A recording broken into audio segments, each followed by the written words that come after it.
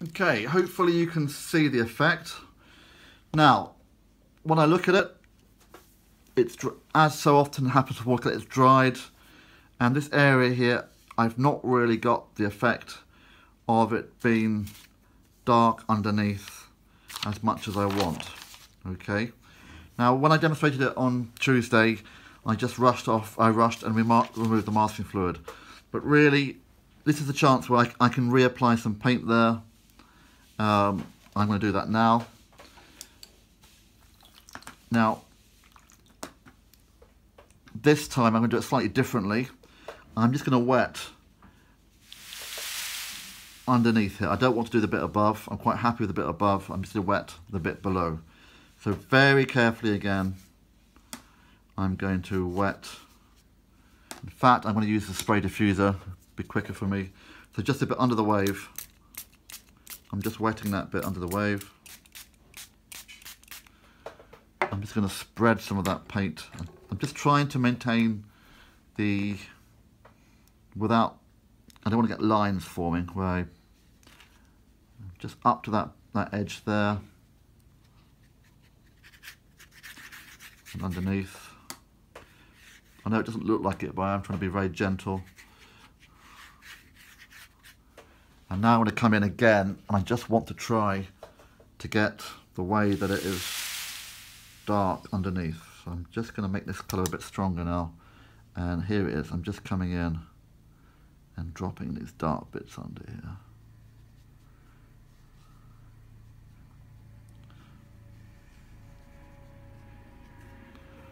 Hopefully you can see I've really, it's much better now. It's getting that effect. It'll probably still dry too light when I do it, but anyway and it's going to create that lovely feeling of it.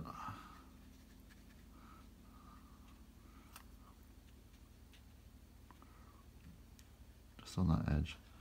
Now you might not be able to see it from there but I can see a run back forming because this bit here isn't damp enough. That can be fixed. I think, I hope.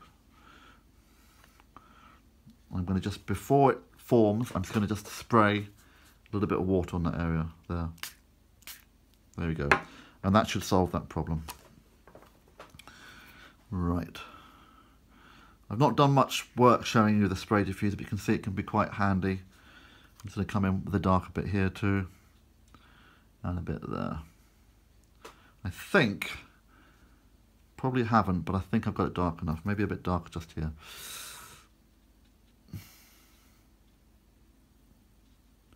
A really dark bit here where the wave is folding over.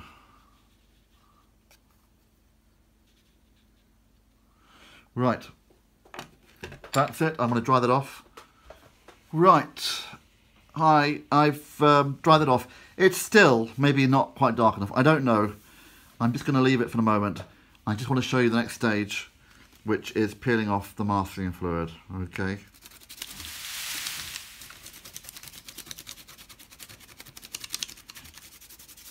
Keep rubbing.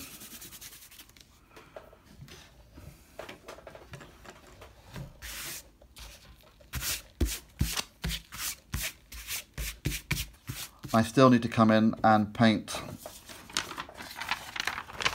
the sky and more details underneath here. I also actually need to do a little bit more work in the splash to make that more believable. But I think it's a rather nice effect. I'm just going to try and zoom in on the camera and you can see that effect a bit more in a bit more detail. Hopefully you can see it's got a rather lovely effect.